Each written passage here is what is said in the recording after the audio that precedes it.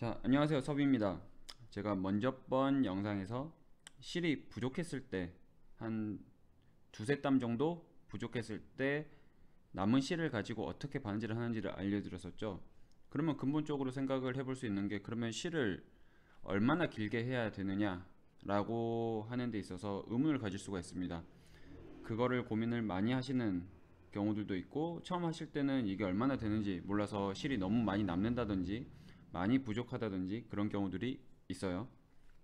그래서 제가 하나 테스트를 지금 해서 했는데 이거는 제가 조그만 텍스트로 해가지고 해서 올려드릴 거니까 우선 이제 그 텍스트를 보면서 제가 말씀을 드릴게요. 우선 제가 어떻게 했냐면 각각의 길이별로 해서 실을 얼마나 했냐면 그 길이의 3배를 끊어서 바느질을 해봤습니다. 3배. 첫 번째는 9cm를 했고요 그리고 두 번째는 19cm를 했습니다. 그리고 그 다음에는 28cm를 가지고 바느질을 했는데 각각의 길이에 대해서 3배의 길이의 실을 끊어서 바느질을 해봤어요. 그리고 부족한 길이가 얼마나 되는지를 지금 퍼센트로 해봤는데요. 9cm를 가지고 바느질을 하니 3.5cm가 부족했습니다. 이만큼이 이제 실이 부족했던 거죠. 이거를 이제 퍼센트 아이고 퍼센트를 환산을 하면 38.8%입니다. 그리고 19cm를 제가 바느질을 했더니 이것도 3.5cm가 남았어요. 이제 공교롭게도 이거를 전체 길이 대비 퍼센트로 환산을 해보니 18.4%가 부족했어요. 그리고 28cm 짜리의 바느질을 하고 나서 부족한 길이를 제가 확인을 했더니 1.7cm가 부족했습니다. 정말 아쉽게 바느질이 안 된 거죠. 이거를 퍼센트로 환산하니까 6.1%가 지금 실이 부족했던 거죠. 자, 이걸 보고 저희가 알 수 있는 점은 길이가 길어지면 길어질수록 그 필요한 길이의 배수가 적어진다는 거죠. 한마디로 제가 만약에 9cm에다가 4배를 했어도 아마 길이가 빠듯했을 거예요, 아마. 근데 28cm 짜리에다가 제가 실이 조금만 더 길었어도 아마 이 길이는 충분히 바느질 하고도 남았을 거라는 거죠. 그래서 보통 저희가 이제 생각을 했을 때 이제 사람 이제 한 뼘 제가 손이 작은 편이거든요 남자치고.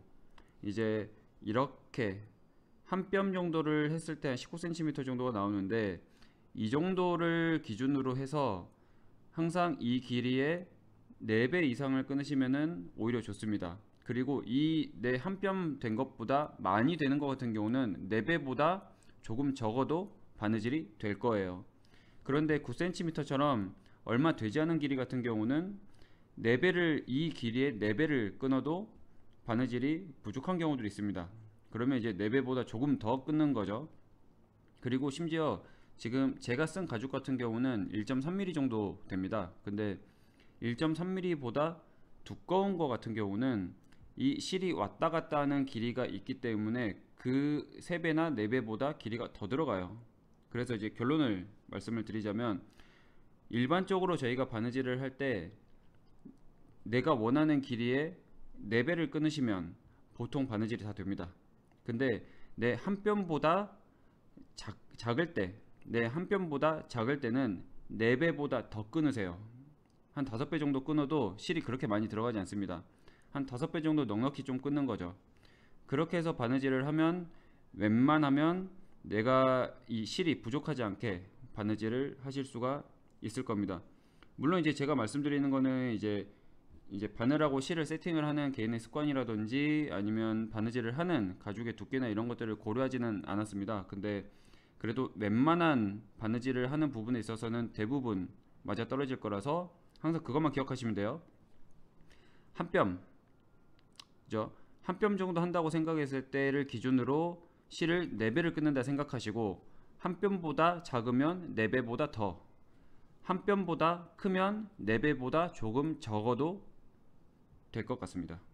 이렇게 실을 길이를 잘라서 해보시면은 앞으로 이제 중간에 실이 애매하게 떨어지거나 이제 부족해서 한 번 더 이제 실을 세팅을 하는 수고를 더실 수가 있을 거예요.